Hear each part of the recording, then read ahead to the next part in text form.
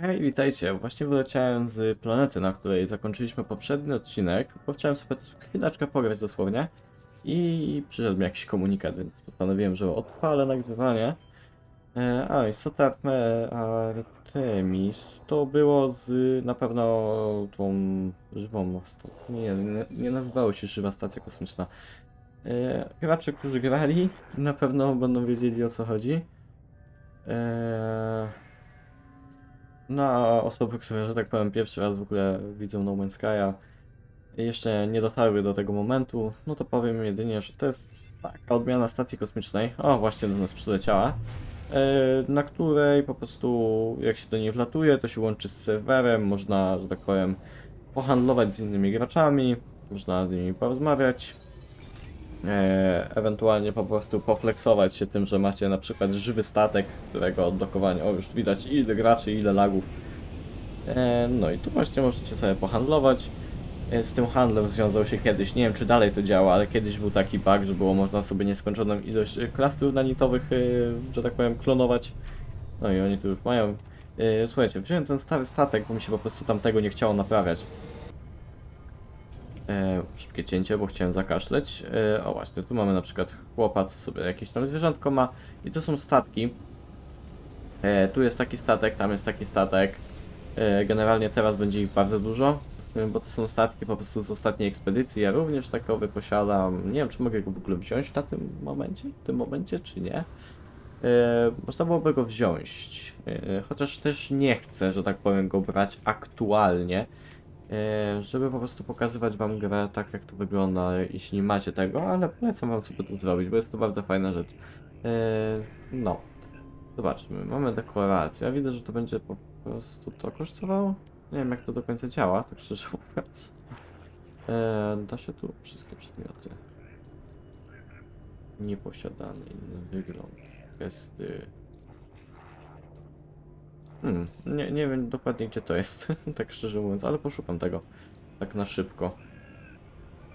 A tutaj chociażby możemy sobie zakupić jajo próżniowe, które służy do wyklucia sobie żywego statku, ale to nie myślę, że kupienie jajka to jest po prostu wszystko. To później trzeba się naprawdę długo, długo bawić, żeby, że tak powiem, yy, ten statek otrzymać. W tym jest naprawdę mnóstwo zabawy. Kurde, gdzie jest ten statek? Nie mogę tego zlokalizować. No, części do budowy bazy to raczej nie jest to. Czekaj, zobaczę, czy... To jest chyba jeszcze z pierwszej ekspedycji, ja jej nie robiłem. Okej, dziwne. Jakie Przedmioty. Kurde, nie ma tego nigdzie. Nie, nie mogę tego znaleźć. Eee, możliwe, że muszę wypić tutaj następny poziom. I dopiero wtedy mi się to odblokuje. Nie pamiętam za cholerę jak to działało, naprawdę. Przepraszam was bardzo za to.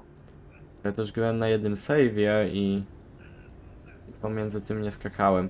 Może gdzieś to tutaj jest. E, Właściwie nie wiem jak to się odbiera, tak szczerze mówiąc, ten mój statek z ekspedycji, ale chyba się da. Ten jak się tu produkuje, coś tam gada do nas. Nie, nie, nie widzę tego naprawdę. Chyba, że... Gdzie indziej było. Mm. A tutaj, Boże, jest. Zbierz nagrodę ekspedycji. To sobie kliknijmy. A, jest. Jest mój ścigacz. E, śmigacz, przepraszam. Utopii. E, no mamy go, możemy go wziąć, możemy go wziąć, ale nie będę tego na razie robił. E, czy weźmiemy go sobie? Mm, a, trzeba go kupić. Potrzebujemy 1400 nanitów. E, na razie nie, na razie nie. Mm, ale to i tak jest bardzo niska cena i za to jaki ten statek jest OP, to jest naprawdę niziutka cena. Dobra, czy, tak, musimy pogadać z tym. Z... nie pamiętam jak on się nazywał. E, Już nie pamiętam. E, Jadę. Można z nim pogadać w sumie.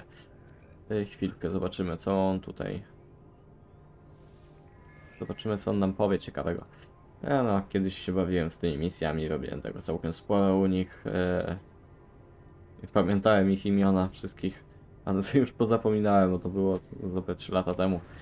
E, dobra. Apollo, jeden się nazywał Apollo na pewno. To, to, to tyle pamiętam. I to chyba. Nie, to był chyba ten. Ten się nazywał Apollo. Nie, ten się Polo nazywał. A, to nie Apollo, tylko Polo. ale, se- ale powaliłem nazwy. E, dobra, witam, witam. Witam ciebie kolego. A możemy zapytać o tą stację kosmiczną.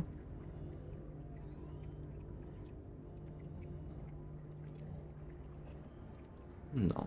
Mm, Jeśli chodzi o tą stację całą kosmiczną, jakbyście byli ciekawi, jak to w ogóle przywołać, jak, że tak powiem, e, wejść do tego z powrotem, jak już stąd wylecicie, polecicie do innego układu.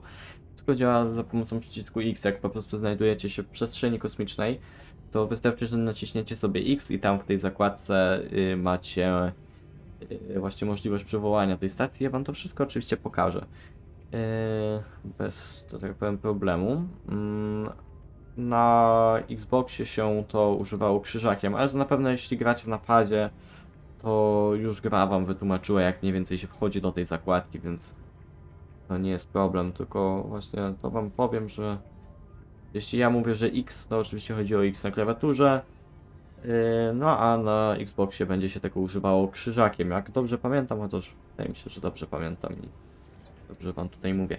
E, dobra, zakończmy, jeszcze z nimi na pewno się spotkamy nieraz, a teraz z Polem nam każe porozmawiać. Witam cię Polo. Polo Kokta. E, dobra, co ty masz nam tu do powiedzenia, kolego szanowny?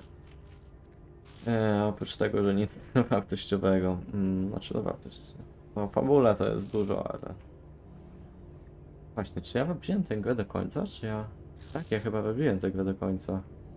Ja leciałem do widzenia galaktyki. Znaczy galaktyki. Do widzenia... Nie pamiętam jak to się nazywało. To mówiąc. A Boże, z innymi podróżnikami. Właśnie, mm, tu jest ważna rzecz. E, tutaj? Nie pamiętam. Tam? Gdzie to było do końca? Można z nim pogadać. W sumie, czemu by nie? Eee... Stałem przed portalem. Mogę powiedzieć, że tak. Postanowiłem sobie to przeczytać. O Boże, pominąłem przez przypadek. Szacunek na jego twarzy. To jest chyba dobra wiadomość. No, tu mamy portal, w którym oczywiście możemy się teleportować do miejsc, w których byliśmy już wcześniej. To nie jest to, że tak powiem, z tymi znaczkami, co wam pokazywałem. E, dobra, kiwnijmy mu z szacunkiem. On nas potraktował z szacunkiem, my też go potraktujemy. Czekajcie, bo nie pamiętam gdzie to był. A... Nie, to nie jest tam. To było tu? Nie, to nie jest na pewno tutaj. Tam na razie nie będziemy się pchali. Kurczę, nie pamiętam gdzie to było. Jest takie miejsce, gdzie przynajmniej kiedyś było, gdzie mogliśmy sobie kupować technologię. A to jest tutaj, dobra. Jak się wchodzi, to tak. A, no ja pamiętam, ja tu zawsze na jetpacku latywałem. No i tutaj, e, tutaj możemy sobie kupować po prostu za nanity, z tego co pamiętam. Nie, za nanity? Za nanity. Możemy e, ulepszenia egzokombinezonu. I słuchajcie, tu teraz ważna rzecz. E, tak jak tamte ulepszenia, które, które można kupić na stacji, one są ulepszeniami, które kupujemy, wkładamy sobie powiedzmy do naszego multinarzędzia.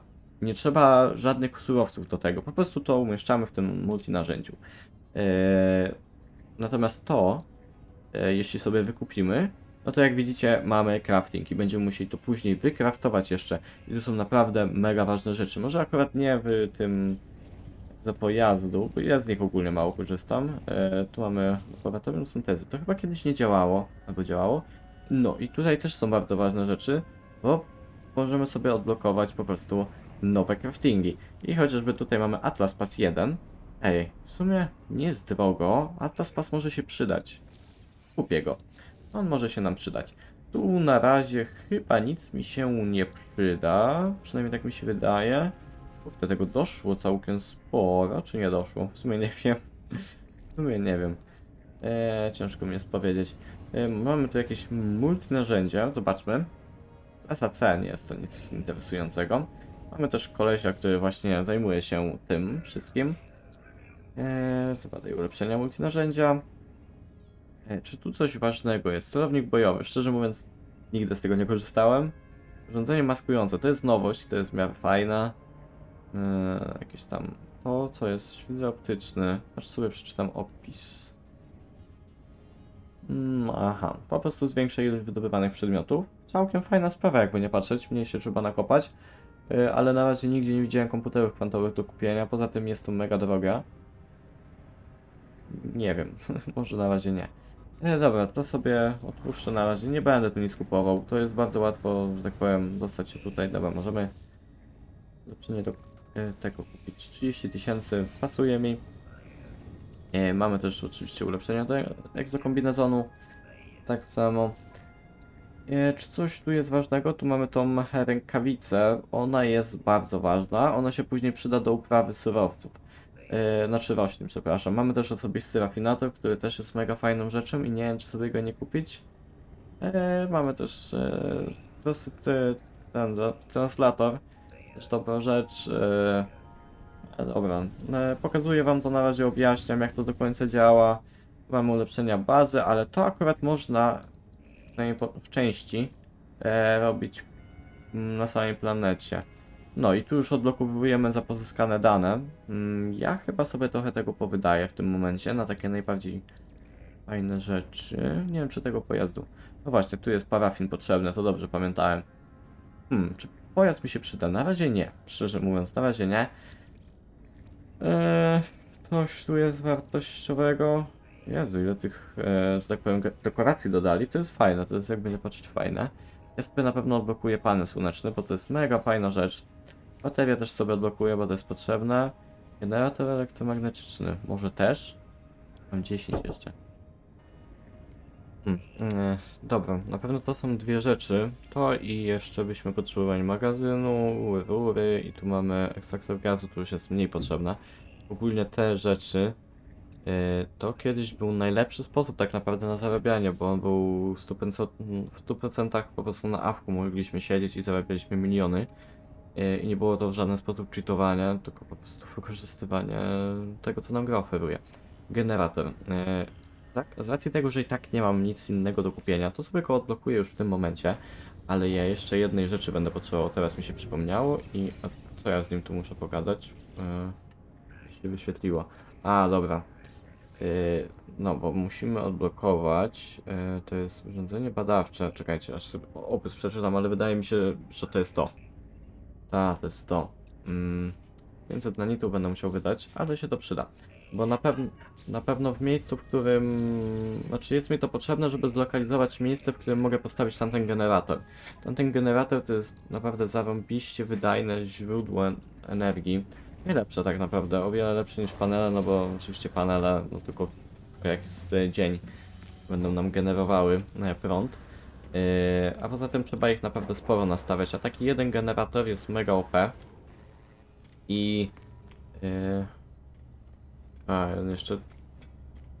Czekajcie, to jest zadanie, że tak powiem, fabularne? Czy nie? Nie. Badaj kosmiczną anomalię. Okej. To za chwilę. Aha, to jest wszystko to samo. To czekajcie, ja chyba muszę stąd po prostu wylecieć. Ym... Zapomniałem o czym mówiłem do końca, na którym momencie stanąłem. W tym momencie razie, yy, mega dobrym połączeniem jest jak znajdziecie miejsce, w którym są yy, bardzo drogie zasoby. Yy, I że tak powiem, bardzo blisko znajdziecie również miejsce, w którym jest yy, źródło. Nie nie pamiętam jak ten generator się nazywa, nie spojrzałem na nazwę, ale to można powiedzieć, że to jest taki generator geotermalny i po prostu w miejscu, gdzie wstępuje na niego dobre miejsce, no to go stawiamy oczywiście. E, No jeśli sobie połączymy takie dwa miejsca, no to mamy naprawdę mega sposób zarabiania. E, Dobra, e, naciskamy sobie X na padzie krzyżak. No i właśnie tutaj możemy sobie wywołać kosmiczną anomalię. I sobie teraz tu wlatujemy. Na każdej, do, dosłownie na każdej, w każdej galaktyce jesteście w stanie to zrobić. Dobra, pokażę wam resztę tej stacji. Myślę, że poświęcimy sobie dzisiejszy odcinek. Ja wiem, że niektórzy, którzy ogarniają tę grę trochę bardziej, będą teraz trochę rozczarowani, że tak tutaj to wygląda, ale na pewno przyda się to osobom, które po prostu nie miały wcześniej styczności z No Man's Skyem, bo to bardzo... Kurde, wystartowałem... jakim cudem? Przecież E nacisnąłem dwa razy. Dobra. Nie, nie, nie wiem co się stało wcześniej, że ja wyszedłem. Znaczy wleciałem. A tu mamy ładny przykład żywego statku. Możecie ocenić, czy wam się takie coś podoba, czy nie. Ja wam powiem jedynie, że z tym jest naprawdę mnóstwo zabawy.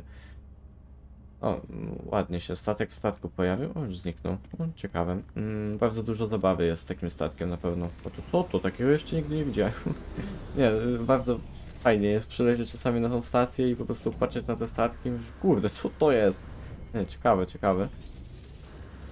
Fajny. Naprawdę nie widziałem takiego jeszcze. Może jakiś nowy po prostu dodali. E, o tak, to jest ośmio, ośmiowniczka, tak zwana. Miałem takich chyba dwie albo trzy nawet. Taki też chyba miałem. Może kiedyś pokażę wam ten mój save stary, bo na pewno będzie działał. To jest mega dobre w No Man's Sky, że mimo tego, że do tej gry wysz, wyszedł taki ogrom modyfikacji, to, y, boże, modyfikacji, y, aktualizacji, to że dalej te savey działają. E, w skrócie, tutaj możecie sobie robić zadania, w których będziecie zdobywali tą walutę. Tą walutę możecie wykorzystywać u tego chłopa na rzeczy stricte dekoracyjne. Tu nie ma, że tak powiem, nic takiego, e, co by wam mega ułatwiało rozgrywkę. No, mamy tutaj kolejnych ludków. Nie pamiętam, czy z nimi trzeba jakoś tam szczególnie gadać. E, z nimi można wsz- wszystkimi gadać, e, wiecie, rozmawiać o tym, co się w ogóle dzieje. Postać jest na pewno zdziwiona, że trafiła na tą anomalię. E, mi się szczerze mówiąc nie chcę z nimi jakoś gadać, bo to strasznie wydłuży odcinek, więc pogadajmy tylko z tymi, z którymi musimy. E, tutaj mamy dużo tych terminali, możemy z tymi ziomeczkami tutaj gadać sobie. E, nie mogę nic wziąć. Nie pamiętam, u nich były jakieś zadania albo coś w tym stylu. Pokaż mi. E, u, jedne, u jednego e, to było chyba u tego, jeśli robiliśmy postępy w odkrywaniu, dobrze chyba pamiętam, że w odkrywaniu, to mogliśmy sobie przyjść do niego, pochwalić się tymi odkryciami i on nas wtedy obdarowywał różnymi fantami i to też było dobre, żeby od czasu do czasu, bo to nie trzeba było często, nie? O właśnie, przekaż dane planety. E, on nam dziękuję i właśnie przekazuje nam nanity w ilości sztuk 120, zawsze coś. Eee, właśnie, tu mamy poznawać nowe schematy technologii. Ja już to zrobiłem wcześniej. Ale te stworki są niektóre fajne takie. Eee, się mogę poflexować, znaczy mógłbym tym co z ekspedycji ostatnio zdobyłem. Eee, dobra, myślę, że... Aha, muszę odwiedzić. Jezu, to ja trochę źle to zrobiłem, bo nam teraz będzie to kazało coś kupować, a ja już kupiłem wszystko, czego potrzebowałem. Jezu, ten odcinek wyjdzie, kurde, pół godziny na tej stacji kosmicznej. Dobra, pogadajmy z nim. Nie wiem, czy muszę coś kupować. Zobaczymy. Eee, tu chyba nawet nie ma nic takiego, co mógłbym kupić. Mogę ten translator kupić. Nie wiem, czy to mi się jakkolwiek przyda, tak szczerze mówiąc. Przeglądaj. No, Części baz, okej, to musimy się udać teraz. Będą do ekspedycji dostępne. Okej, to ja wiem, że są dostępne nagrody. Mam, już to sprawdziłem.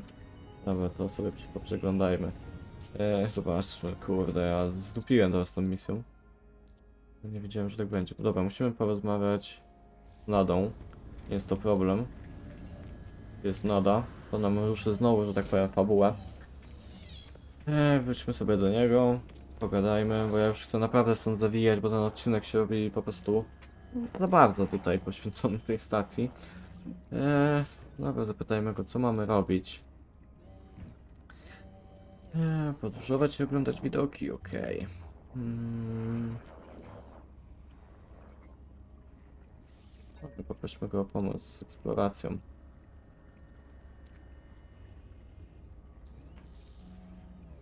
No, zawsze jesteśmy tu mile widziani, oni są bardzo gościnni, bardzo ich za to lubię. Nowe wizje, badanie społeczeństwa. Dobra, escape naciśnijmy, żeby aktywować. No i tu już nam się powoli już zaczynają tak, że tak powiem, te ścieżki fabularne na tyle rozjeżdżać, że już mamy tutaj pewne pole manewru. To czy do czarnej dziury. Za szybko tego nie zrobimy. Poza tym dotarcie do czarnej dziury niszczy statek, taki spoiler. Nie jakoś znacznie, go możemy bez problemu naprawić, ale to tu jest trochę zabawy. Eee, dobra. Wróćmy do kosmosu, dobrze. Wróćmy do kosmosu. Kolejny tego typu statek. No to rzeczywiście jest jakaś nowość dodana jakiś czas temu przez twórców i kurde tutaj kolejny taki? Nie to rzeczywiście jak, jak ich jest tak, taka duża ilość to na pewno to jest albo jakaś po prostu nagroda za poprzednią ekspedycję, której nie robiłem, bo jakoś tak Wiecie, ja mam z tym No Man's Skyem tak, że ja raz w niego gram, gram, gram, gram i to cały czas jak zacznę w niego grać, to potem gram po parę godzin dziennie. Potem przez rok nie gram, potem wchodzę, patrzę, o, ile nowości, ale fajnie, gram sobie znowu parę godzin. E, dobra, wiadomość przychodząca, od, od, odbierzemy sobie ją oczywiście. E, jest nasza tajemnicza istota. Jeśli chodzi o fabułę, to jej właśnie tam szukaliśmy, z tego co pamiętam. E, no, pytajmy, co się stało co, co się, co, co, co się stało się? E, no.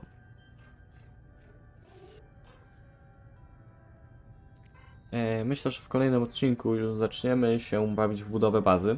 E, na razie na tej planecie, że tak powiem, ekstraktor złóż nie będzie mi tam jakoś bardzo potrzebny. Eee, chyba, że znajdę tam coś ciekawego, chociaż wątpię. Musielibyśmy, właśnie tego wam nie pokazałem, w ulepszeniach statku na tej kosmicznej anomalii. Eee, zapytaj o sześcian. E, na tej kosmicznej anomalii e, mamy ulepszenia statku. E, Boże, tak dobrze mówię? Statku, statku. Tam możemy sobie ulepszyć hipernapęd. Ja wam teraz to zademonstruję, mniej więcej o co mi chodzi, jak tylko zakończy się ten dialog. Zakończ komunikację, idealnie. Dobrze, musimy znaleźć sposób na wzmocnienie sygnału. I jak, jak otworzymy sobie mapę galaktyki, to możemy zauważyć. Dobra. Mm, czemu mi się nie chce? A. O. A, znalazło coś tam i okazuje się, że musimy tam skoczyć. Ale to za chwilę. Na razie włączmy sobie dowolne odkrywanie. Na, yy, na klawiaturze jest to prawy przycisk myszy. I możemy sobie tu zobaczyć, jak się przyjrzymy, ta galaktyka jest taka żółta. Jak się popatrzymy gdzie indziej, to tu już mamy taką bardziej czerwoną, a tutaj taką niebieską. To, to ma znaczenia. Mm, Jak sobie zobaczycie, to wymaga napędu irydowego, to natomiast e, kadmowego.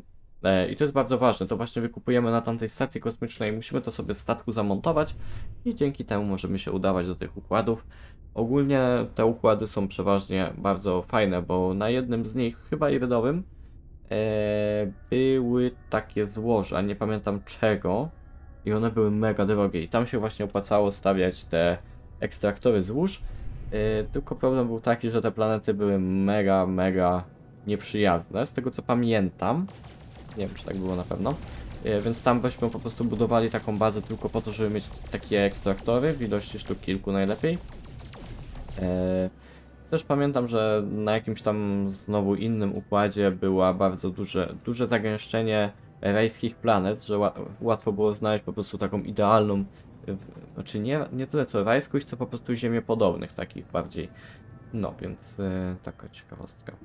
E, dobra, czy ja mogę zrobić paliwo do napędu? Chyba będę mógł. A, ty. A nie, brakuje mi metalu chromatycznego. By trzeba było wylądować gdzieś. Na jakiejś planecie. E, dobra. Moczarowa. Jakiś, na której nas jeszcze nie było, może wylądujemy, nie to. E, tam. Tam jest uran, na przykład. Mógłbym sobie go wydobyć trochę. To polecimy, polecimy tam. I jeszcze sobie dzisiaj do tego drugiego układu polecimy. Z tego co pamiętam, jeśli tam się skoczy, przynajmniej tak było kiedyś, jak się tam jeszcze skoczyło, to prawdopodobnie dostaniemy fraktowiec. Będzie trzeba się chwilę ponapierniczać, ale nie jest to na pewno trudna walka, to jest naprawdę prosta walka, tak naprawdę. Tam wystarczy zastrzelić tak naprawdę jeden statek, albo... no trzeba było chyba. Yy, bo po prostu sama gra tego nie, nie robiła jako tako.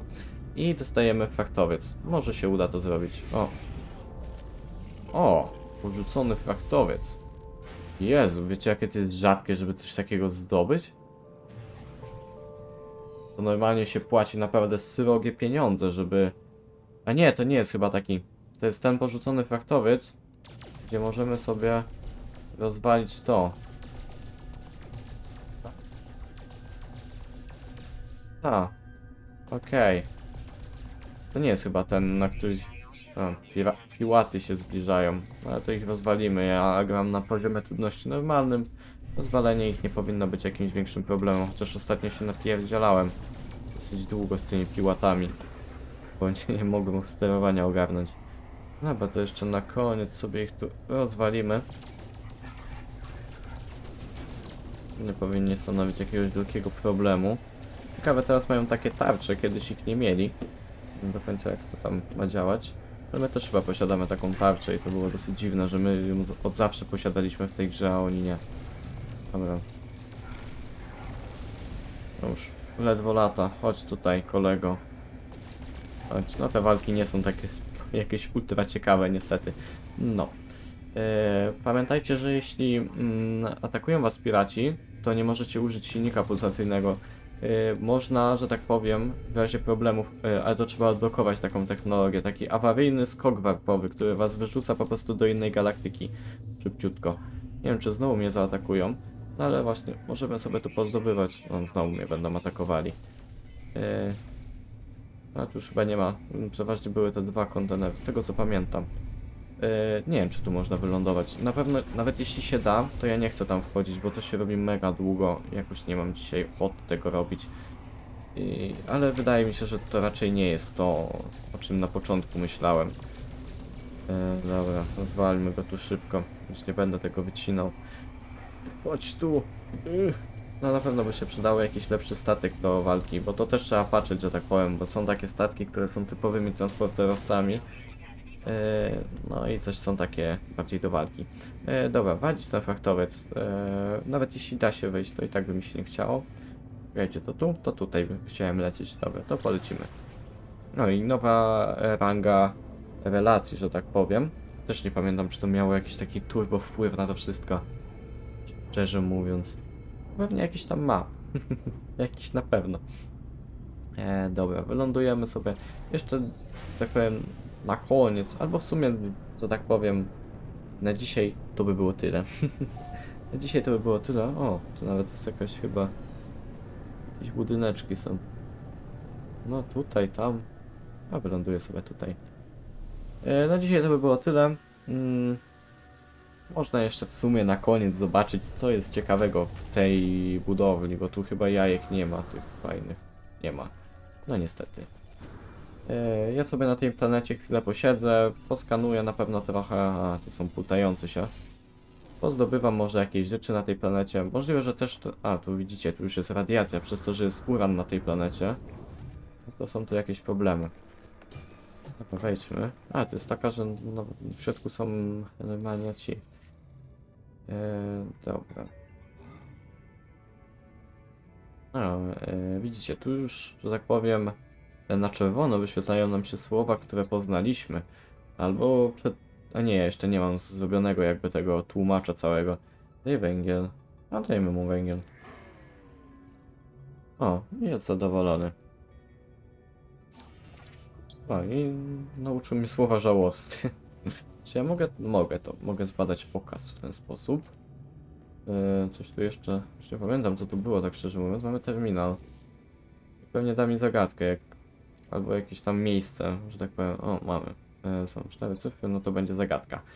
E, no, nie będę, że tak powiem, tu tłumaczył, ja po prostu zrobię cięcie, chwilę pomyślę nad tym, co by tu mogło być kolejne i postaram się nie zrobić z siebie debila, bo te zagadki są... No ta jest pewnie bardzo prosta, ale później będą takie bardziej skomplikowane, które no, naprawdę, jeśli chcecie, że tak powiem, troszkę oszukać, e, jak sobie to wpiszecie, to na pewno na wiki wam bez problemu wyskoczy właśnie informacja, co powinno być, bo już kiedyś sprawdzałem z ciekawości. Jak mnie mój, e, mój wielki matematyczny umysł nie złodzi, co prawdopodobnie będzie to ta odpowiedź. Zobaczmy. No, chyba, chyba trafiłem. chyba nawet nie zrobiłem z siebie takiego debila. Tam chodziło o to, że po prostu mm, wszystko się przesuwało w ten sposób, jak tam pierwszą liczbę mieliśmy 7. Powiedzmy, kurde zapomniałem tych liczb. Jak było 7, 0, 2, 1, to potem było 0... Już zapomniałem co mówiłem.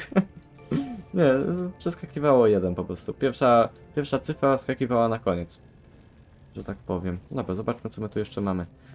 Eee, a, tu potrzebuję... A, a, dwójki. A, tam, szczerze mówiąc, ten Atlas Pass to nie jest też jakaś taka turbo niezbędna rzecz, ale widzę, że z niego to tam dalej nie wyjdziemy. Nie można zniszczyć. A, to chyba na tyle. To jak gdybym miał Atlas Pass, to bym mógłbym, mógłbym wejść dalej. E, no cóż, ja wam bardzo dziękuję za oglądanie tego odcinka. Mam nadzieję, że wam się podobał. E, no cóż, troszkę było nauki, że tak powiem. Chciałem wam bardzo pokazać właśnie jak działa ta stacja, bo jest to dosyć istotna rzecz. E, mówię, w kolejnym odcinku prawdopodobnie budowa bazy, dlatego ja sobie poza odcinkiem troszkę materiałów pozbieram takich naprawdę podstawowych. Wrócę sobie do tego układu, w którym była ta nasza planeta, taka, która mi się spodobała. I zbudujemy sobie taką małą bazę, bo i tak gra niedługo będzie od nas wymagała tego, żeby właśnie jakąś tam bazę sobie postawić. A więc cóż, jeszcze raz dziękuję i do następnego. Pa pa.